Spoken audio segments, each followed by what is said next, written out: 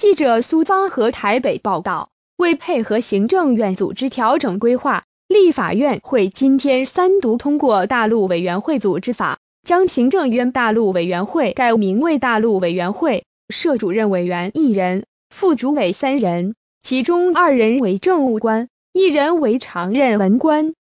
民进立委罗志正说，这是将过去的特任副主委给拿掉，也增设常任文官。让陆委会组织回到正常运作。陆委会于提案指出，依行政院组织法第四条第二款规定，行政院设大陆委员会，陆委会配合行政院组织调整规划，为统筹处理大陆事务的机关。定基于行政院推动政府组织改造的精神，透过重新检讨政府职能，强化治理能力。七使政府整体运作更具弹性与效能。陆委会报告指出，依据中央行政机关组织基本法规定，陆委会的组织应以法律定之，因此拟具大陆委员会组织法草案。此外，在员额部分，原本陆委会首长及副首长的员额，依现行组织条例规定，设主委一人，副主任委员两人至三人，职务比照兼任第十四职等。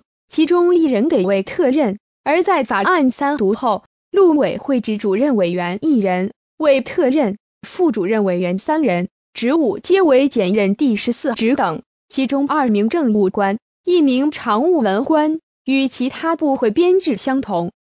原本的特任副主委走入历史。罗志正解释说，原本陆委会共有一特任主委，三个副主委，一特任副主委，两政务副主委。但是会变成主委和副主委都是特任，两人权责上可能会有冲突。现在三读后改为两政务副主委，一常务副主委，让陆委会组织回归到常态。